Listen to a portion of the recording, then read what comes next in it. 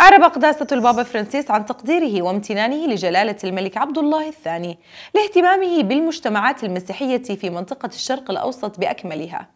وأشاد قداسته بجلالة الملك خلال لقائه سمو الأمير الحسن بن طلال والمشاركين في الندوة التي أقيمت بين قسم الحوار بين الأديان في الفاتيكان والمعهد الملكي الأردني للدراسات بين الأديان. وقال جلالة الملك لا يتوقف أبدا عن تكرار أن المسيحيين هم من السكان الأصليين لتلك الأراضي المباركة.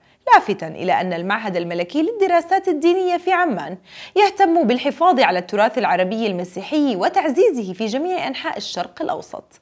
وختم الحبر الأعظم بتوجيهه المجتمعين قائلا إن التزامنا المشترك هو من أجل حياة صالحة تمجد الله وتعطي الفرح للذين نلتقي بهم في حجنا الأرضي.